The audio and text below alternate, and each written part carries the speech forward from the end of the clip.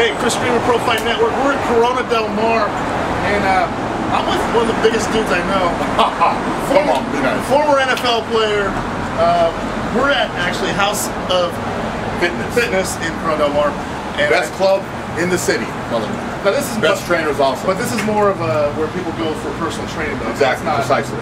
Yeah, so It- it's a one-on-one, very exclusive training facility. So people can train with you if they, if they if we- we're gonna go inside. We're gonna, we're gonna he's gonna show us some stuff. I, all my stuff, I try to get athletes that are actually gonna show you how to do. Uh, no offense against bodybuilders. Actually, you can take offense if you want. I don't really care. But you know, guys that actually play sports that show you how to strength train and do and do, and lift weights for for their particular sport. So this being uh, former NFL football Basically, player. we're going to show you how to lift weights, be quick, be fast, be perfect in your motion. I like that. We're gonna go inside um, and uh, show us the stuff, right? Let's go. What do you weigh, dude?